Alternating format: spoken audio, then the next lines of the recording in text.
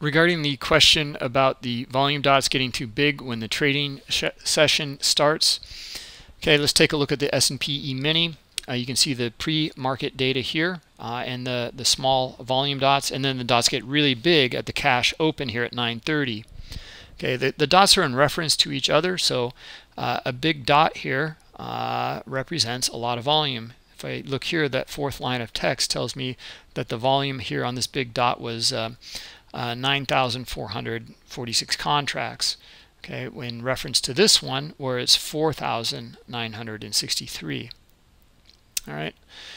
Uh, but maybe these are too big. So what you can do is just click on Studies Configuration on volume dots here, uh, and then just the, there's a slider here for the uh, for the size. Okay, and just bring that down. All right.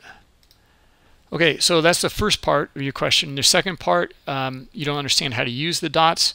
Okay, well, they're clustered right now. By default, they're, they're clustered uh, by this smart algo.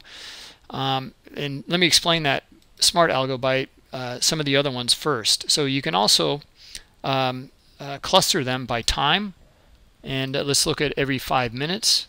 Okay, so volume dot is produced every five minutes. And you can see it is um, uh, VWAP related. So right here is the center. This is the VWAP.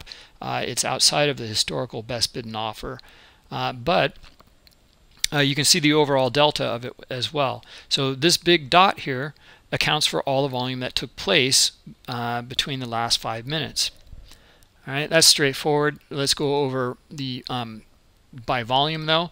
Okay, and let's uh, input 20,000. Okay, so here uh, a volume dot is produced and they're all the same size because they account for 20,000 contracts that traded.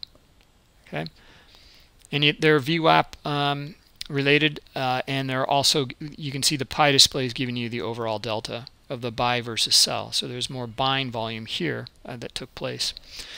Um, okay, so that's pretty pretty straightforward uh, as well. So then the smart algo um, uh, clustering, uh, what that does is it's a combination of both time and volume.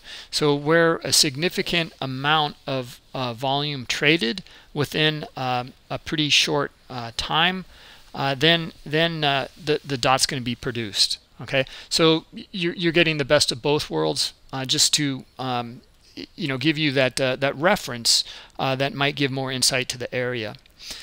Uh, and what you can do though is you you can um, influence or the circle of influence you can make it bigger or smaller okay with that algo. So when I start to slide this slider here to the right um, it's going to account for a bigger area and all of the uh, the volume within that area and give me the overall VWAP uh, as well as um, the uh, the delta here all right so that's the um, smart algo. Um, and maybe uh, this one helps you. It gives you insight. Uh, maybe you like this view, but then you want to bring down the dot size. Just, just bring down the dot slider.